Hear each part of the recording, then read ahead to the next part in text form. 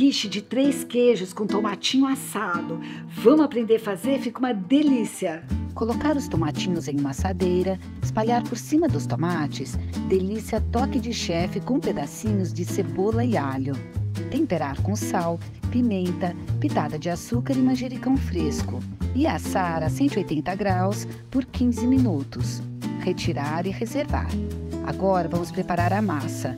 Colocar a farinha em uma vasilha com uma xícara dá delícia toque de chefe que vai fazer a diferença nessa massa. Pitada de sal e mexer até virar uma farofa. Colocar um ovo e continuar mexendo, ela vai ficar assim, bem uniforme.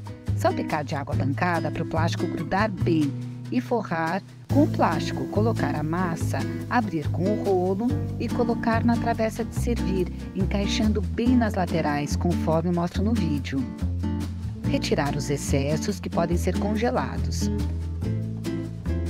Colocar um papel manteiga e cobrir com feijões para assar esta massa por 20 minutos. Enquanto a massa está assando, ralar os dois tipos de queijo, o emmental e o parmesão.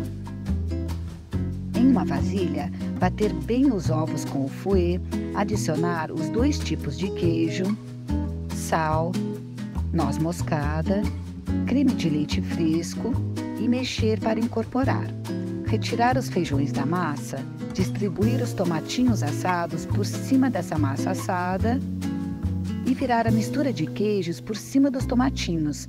Fazer círculos com o catupiry e distribuir mais tomatinhos por cima. Assar por 40 minutos ou até estar dourada. Colocar folha de manjericão para servir. Bom apetite!